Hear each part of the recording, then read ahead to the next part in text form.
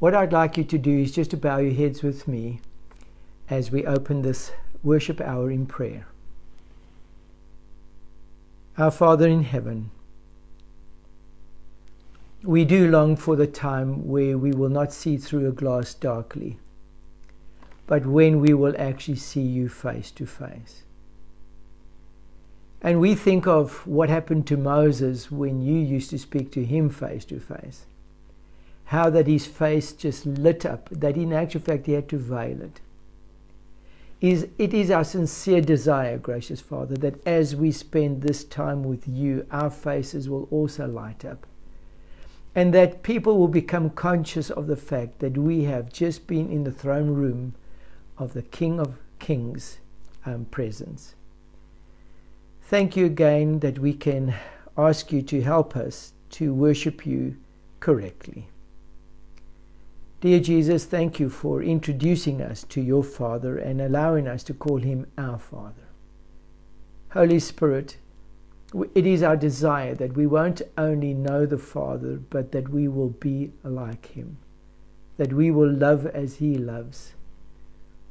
So be with us now, for we ask this in Jesus' name. Amen. I'd like you to turn with me to Luke chapter 12. I want you to go to Luke chapter 12, and I'm going to be reading from verse 54 on. Luke chapter 12, from verse 54. He said to the crowd, When you see a cloud rising in the west, immediately you say, It is going to rain, and it does. And when the south wind blows, you say it is going to be hot, and it is. Hypocrites, you know how to interpret the appearance of the earth and the sky.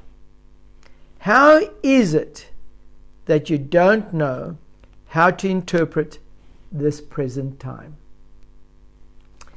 Dear friends, it's so interesting that um, our theme or our heading for today is how close are we to the end?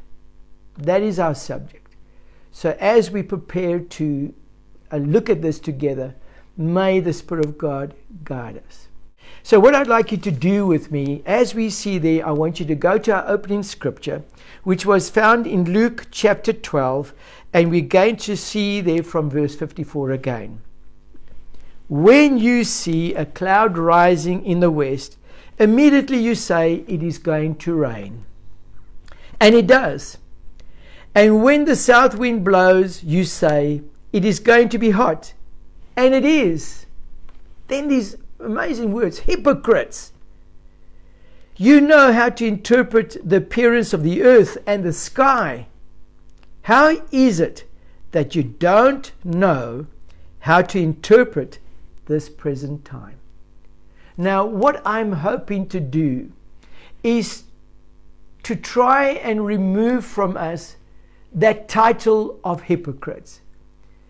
And you know, a hypocrite is a person who claims to do something or to, to say something that they're doing, but their actions are totally opposite to their words. And are we a people who are truly Adventist? We talk about being seventh day. We talk about being Sabbath keepers. But are we truly Adventists? You see, the title Adventist is a person who recognizes the, the events that show the coming of Christ in the clouds of heaven. And it is our duty as God's people to prepare the way for his coming. And yet, we ask the question the world is asking Is it really the time of the end? And so, dear friends, I want you to understand that my attempt today is not to go to the prophetic words such as Luke 21, Matthew 24, or Mark um, 13. No, it's not my intent to try and go and find out what are the signs of the times. No. It is my purpose to use a timeline given to us to show you truthfully how close we are to the end of time. And in order to do this, I'd like you to go with me, and I'm going to use Revelation chapter 6 as the chapter to take you along this journey. Revelation chapter 6. So please go with me to, the, to that scripture. Now, in order for me to be able to get you started on this journey, we need a starting point. So imagine if I had a whiteboard now and I would go to my whiteboard and I would draw a line. And that would be a timeline. And somewhere on this timeline, I need to have a date that is going to be a starting date. What will be the starting date for me to determine where we are in time? How close are we to the end? If I, at the end of my timeline, put second coming or put the end of this world as we know it, as it says there in Revelation chapter 21, that the first order of things has passed away that the world as we know it now will become obsolete, will become redundant, will no longer be there because there will be a new heaven and a new earth. That point in time, at the end of time, when this world will no longer be our home and for a thousand years we'll be taken away from this world. And we'll be, we'll be found in the New Jerusalem. That point how far away are we from that point? So, in order to know this, we need to start the timeline somewhere. And so I've asked you to be with me there in Revelation chapter 6, but I want you just to jump back for a moment because we need a starting point, and I want you to go to Revelation chapter 5, the, the chapter before. And I want you to notice there that a question is asked in verse 2. Listen to the question Who is worthy to break the seals and open the scroll? So we see that in order for us to understand the timeline, and we know that seals in this prophetic word here found that we are going to be studying are dispensations of time. That's what the seals are. They are periods of time. Okay. And I want you to notice there the question is asked who can open up the seals? Who can reveal them to us? And we find there that it says there in verse 4 I wept and wept because no one was found worthy to open the scroll or look inside.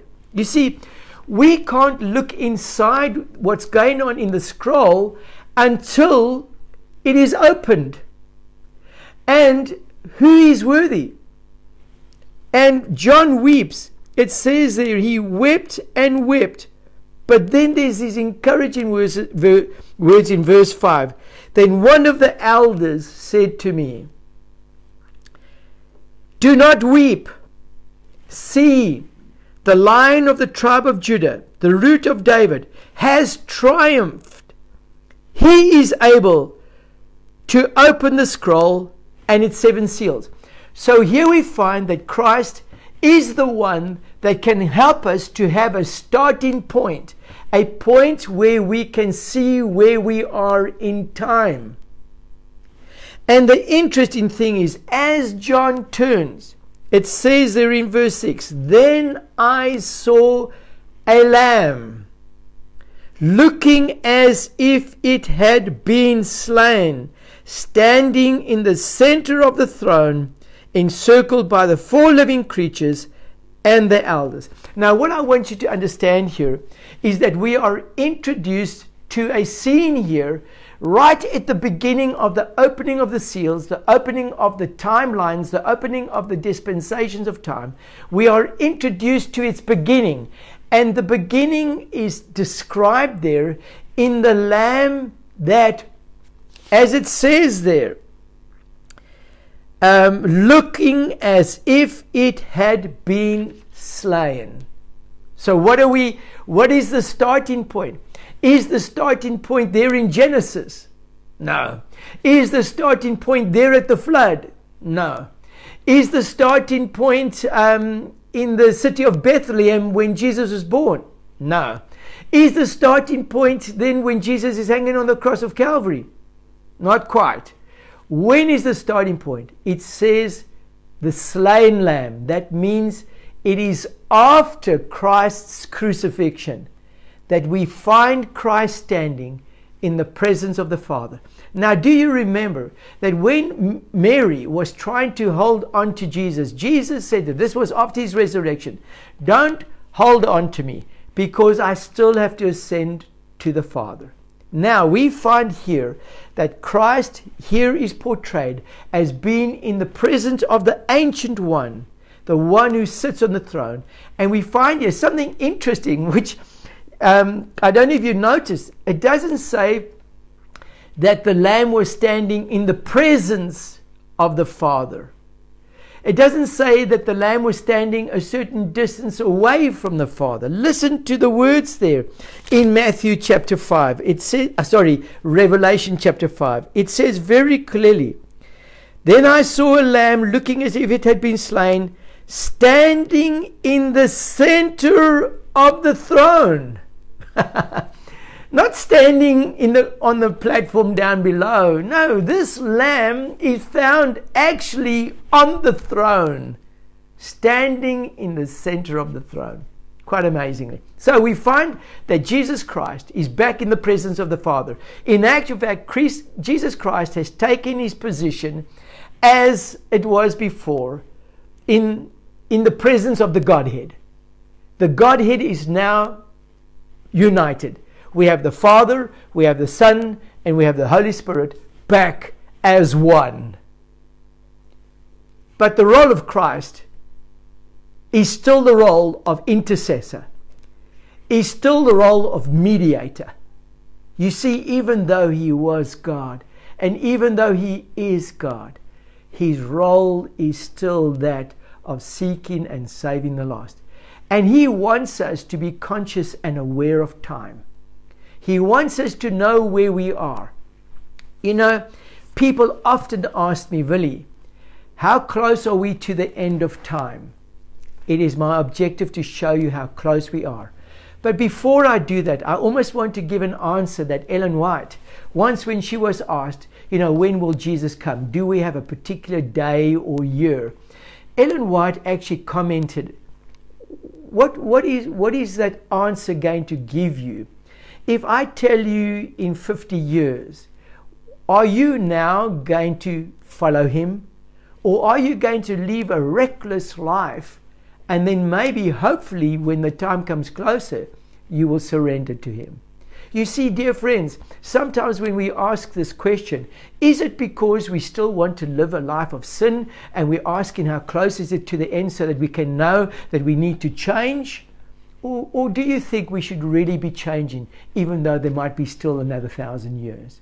You see, I want you to understand that the objective of why I'm giving you this presentation is not to give you license to continue to, to, be, um, to live a life of sin or to live a life that is um, surrendered over to, to sin, to Lucifer. No, I'm not encouraging you to do that at all. And I'm hoping that by the end of my presentation, you will feel cautious about that. You see, Jesus tells us about a man who was a very uh, successful man in business. And he, he's a farmer and he has this incredible harvest. And as a result of this incredible harvest, he thinks to himself, I need to build bigger barns. You know, I need to fill up that, you know, those barns because I've got a lot of time. And Jesus says to him, You foolish man. You thought that you still had a lot of time. You thought that you could still wait until a certain ringing of the bell and then you were ready. No, you foolish man. You don't know that in tonight, in this hour, your life would be expected of you. There would be a, a, um, a, a what's the right word there? There will be this accountability for why you lived the life you lived. You know, I can't help but think of Belshazzar, the young king. Even though he had all the knowledge of what his father, his grandfather, great grandfather did, Nebuchadnezzar, even though he heard of all of that, this young man was reckless with the time that he had. And instead of taking the time seriously, he was feasting and he was actually uh, mocking God, you know, um, taking the things of God and abusing those things. And little did he realize that he had been weighed in the balance and that he had been found wanting. You see, that very night, Babylon fell. And dear friends, I want you to understand we need to be very cautious when we think that we still have a lot of time because the word counsels me he that thinketh he stand take heed lest he fall you see I want you to understand that the purpose of what I'm doing here is not to allow you to become complacent in your life, but to actually draw your attention to this that if there was an end time or a people who are living close to the end of time, we are that generation.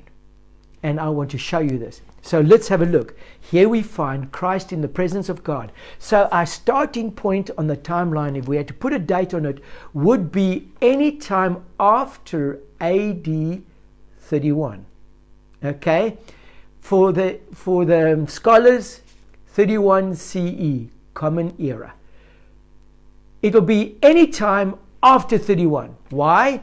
Because in the middle of the week, in the year 31, Christ died on the cross of Calvary. So it is a slain lamb that we see here. So it is that period of time when Christ finds himself again in the throne room of heaven. The interesting thing is, we see him and then he does this most amazing thing. And I want you to notice what verse 7 says of Revelation chapter 5. Verse 7 says, he came and took the scroll from the right hand of him who sat on the throne. So he came and he took the scroll. Who is worthy? The slain lamb is worthy. And you know, the most amazing thing is if you go to verse 12 of chapter 5, it says, in a loud voice, this is everybody, they sing these words Worthy is the Lamb who was slain. So here we have past tense, not to be slain, who was slain to receive power and wealth and wisdom and strength and honor and glory and praise. Then I heard every creature in heaven and on the earth and under the earth.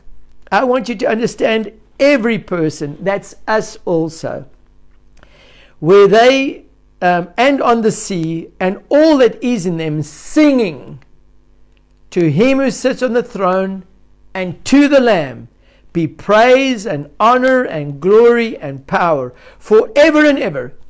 And then all the elders fell down and said, Amen. May it be as we have said. So we find that Christ is back in the throne room of heaven. He's back in the presence of the Godhead.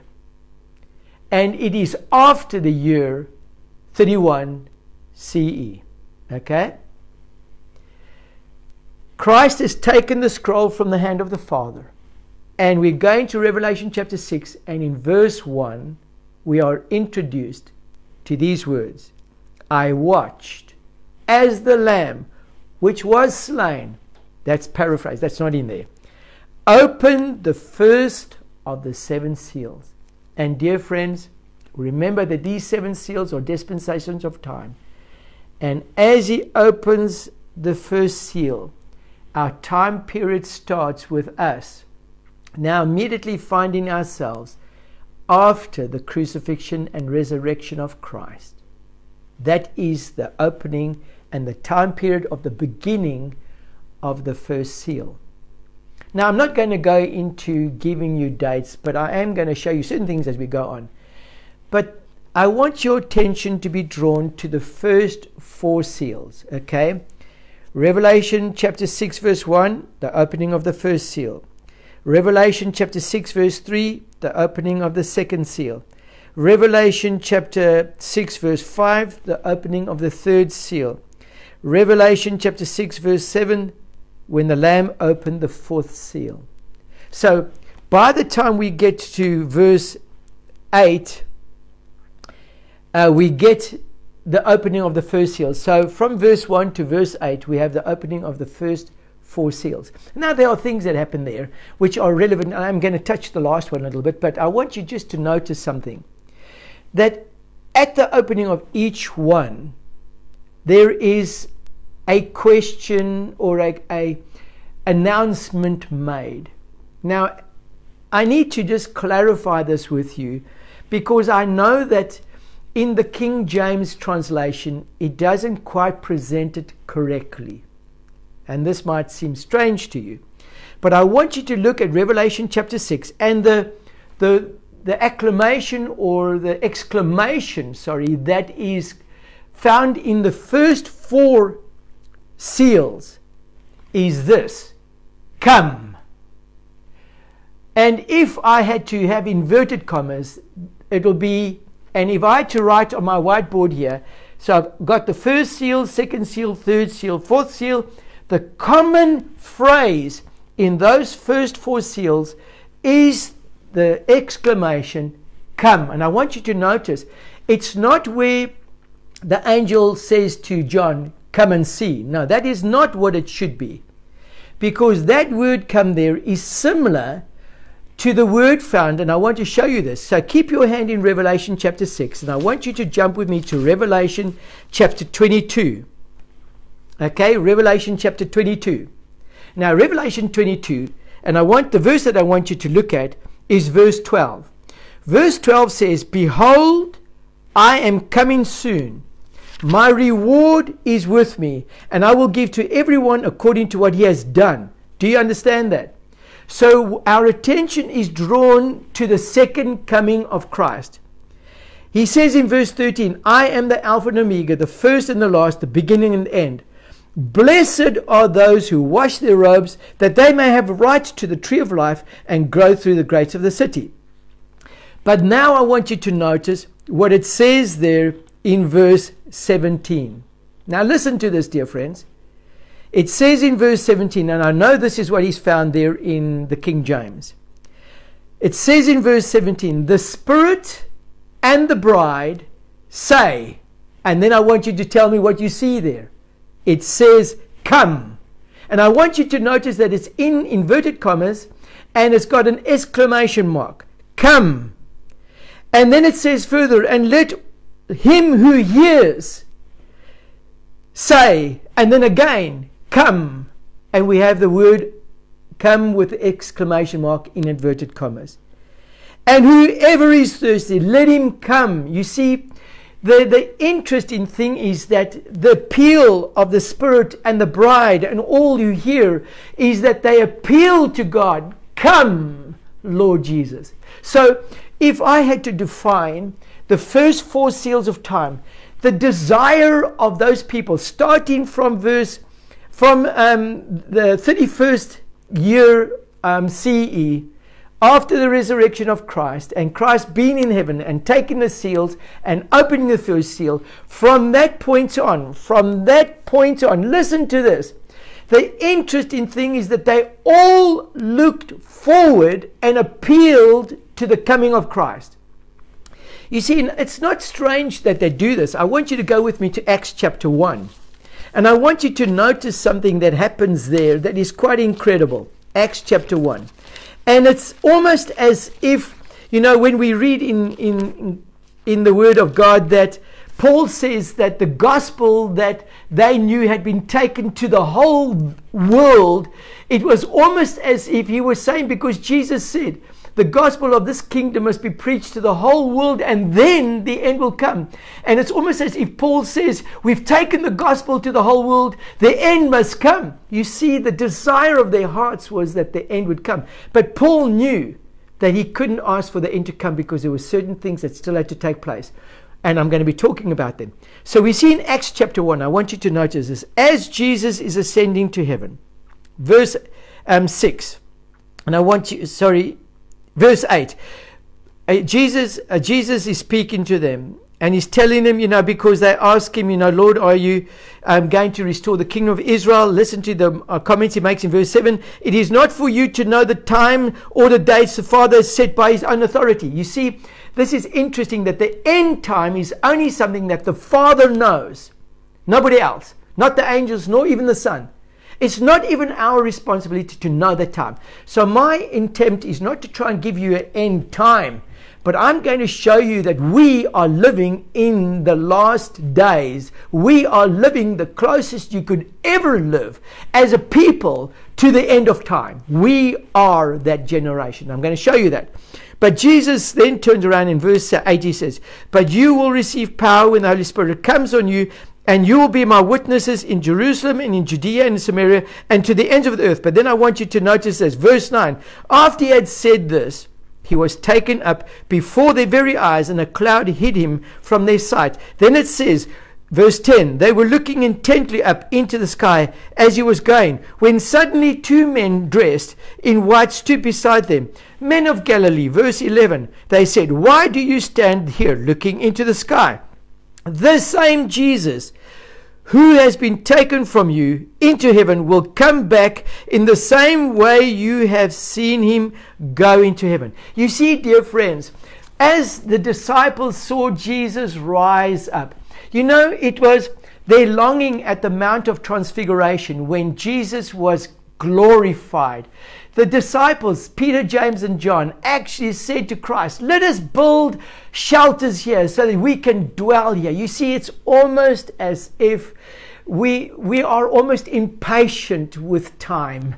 We want time, we want Jesus to come now. You know, dear friends, it is a, a um, cry that has started since the resurrection of Christ that for a great period of time, in actual fact, that period of time is a period of time from 31. So if I had the first four and I had to put here, it'll be uh, 31 CE, and my end of time for this first four periods of time, well, actually up to the fourth period of time, will actually, sorry, to the beginning of the fourth period of time will be 538. Why 538? And you're going to see. So, we have a period of time and it starts. Where are we when it comes to this time? Are we close to 31 CE? No, dear friends. We are way beyond. We are in 2020 CE. We are 2,000 years later down the, down the line. Nearly 2,000 years later. We are there. Now I'm going to ask you those who were living in 31 CE and they cried out, Come, were they close to the coming or were they far away from it? Dear friends, in the first seal, they were the furthest group of people away. Peter, James, and John, Paul, and the disciples of that time were the furthest away from the coming of Christ. Then we had the next group of people, the second seal. Then we have the next group of people, the third seal, that time period. And then I just want to draw your attention to the fourth one. That's why I said up to 538 um, CE. Because in 538 CE, we have the beginning time period of the 1,260 years. Now, the 1,260 years is the time period of the fourth seal. Okay, so if I had my time here, the first three seals will be 31 to 538. The fourth seal will be 538 to 1798. Okay? Why? Because we see there, and I want you to go with me to the opening of the fourth seal. In verse 7, it says, The Lamb opened the fourth seal, which means that we were introduced to the seventh uh, sorry, the fourth dispensation of time. Now, dear friends, you know what is so incredible? When this was given to John, this was still in the future. And so they had to accept this by faith. But we who are actually in 2020 can, in retrospect, look back and actually see the seals being opened. And we can see that this period of dark ages, this period of 1,260 years, this period when the, the, the, Word of God was clothed in sackcloth and ashes, this period of time when they mocked Christian, this period of time when Christian was persecuted and killed, this period of time, dear friends, is the period of the 1,260 year period. And I want you to notice how this is introduced to us. When the Lamb opened the fourth seal, I heard a voice of the fourth living creature say, Come! So again, it is the appeal Lord Jesus, please come. It is the desire of nations, dear friends. It is the desire of nations that Jesus will come. It is the desire of every Christian that Jesus will come. It is the desire of the, the Spirit, and it's the desire of the bride, and it is the desire of all those who hear to say, Come. It should be the word that's on our lips. We should be truly Adventists saying, Come, Lord Jesus. That should be still our desire. That should be still our, our request. But I want you to notice these group of people, they say, Come. And then it says, Okay, who are these people? I looked, and there before me was a pale horse. Now, the word pale here in the Greek is chloros. Now, immediately that should tell you something. You know, when you think of chlorophyll, and you, you think, okay, what is chlorophyll come from? It comes from green leaf things. So the word here, pale, is not really white or of color. No, the word pale here is greenish.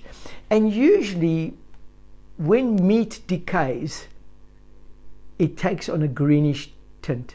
You see, it is the, the color of decay. It is the color that this world, where we find ourselves, is not healthy it is full of decay. It is greenish in color.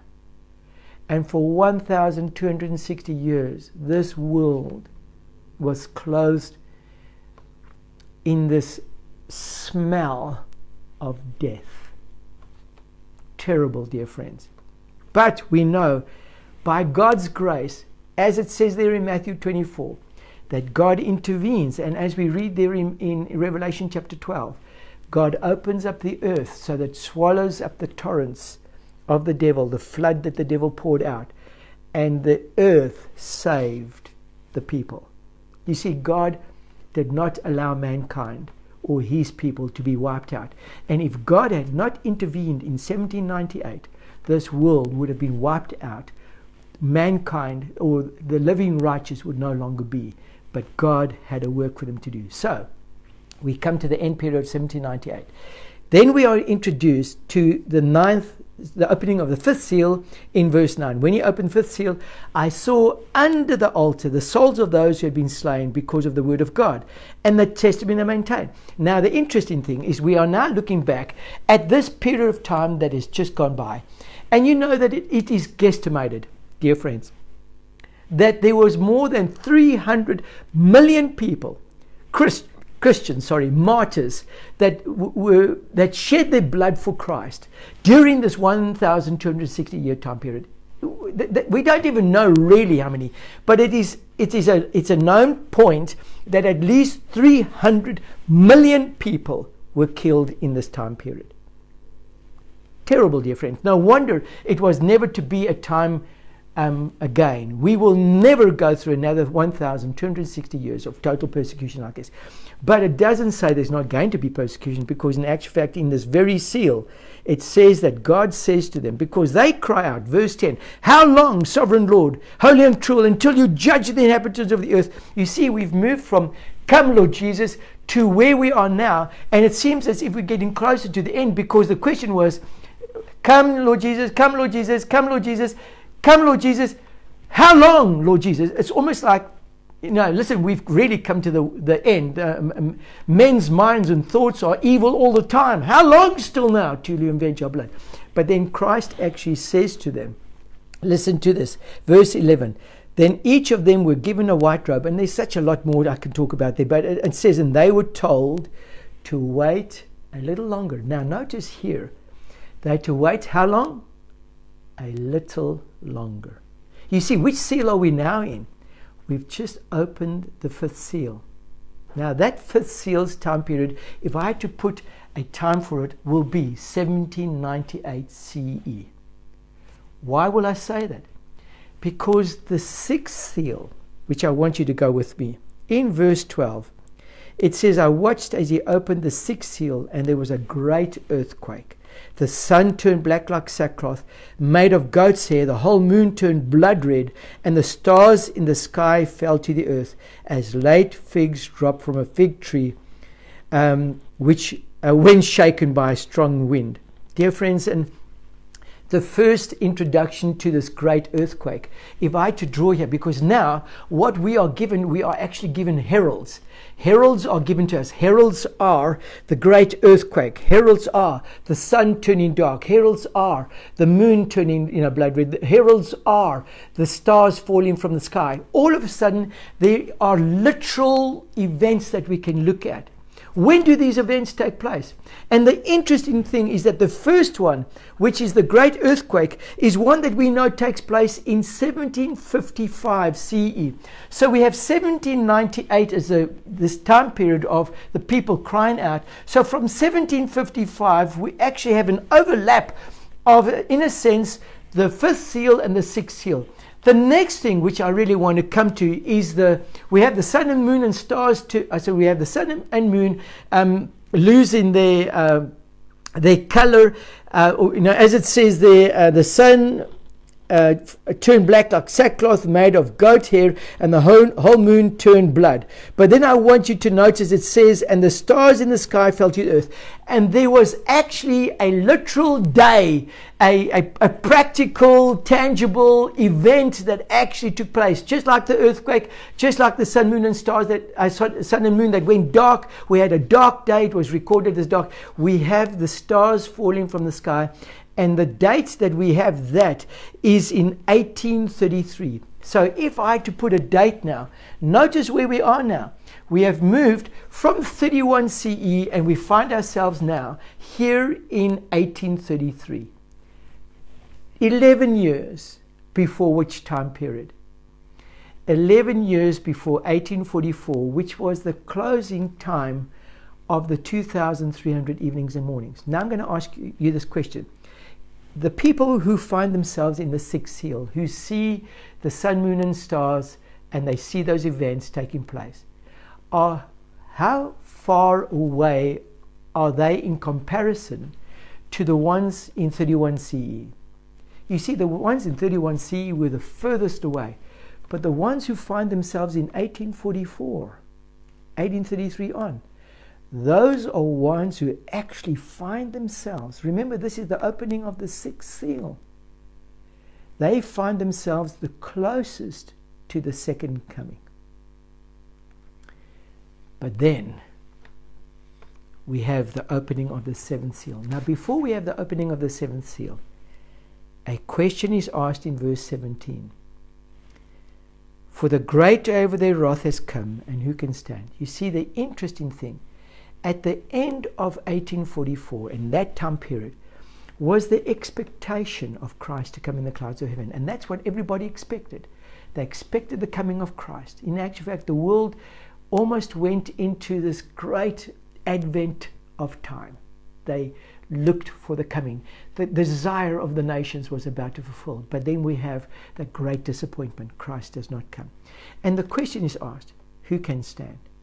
Now, the interesting thing is that although Christ could have come any time from 1844, the interesting thing is that the world wasn't ready for his coming. So we have what we call now probation. And we are living in probation's time period. Now, dear friends, since 1844, it is um, what 176 years later from 1844. 176 years later. I'm going to ask you here in 2020, how close are we to the coming? If there was a generation that will have the privilege of seeing Christ come in the clouds of heaven, truthfully, it has to be this generation, dear friends. You see, 2020, we are the closest to the second coming any other generation has ever been. should we be lackadaisy?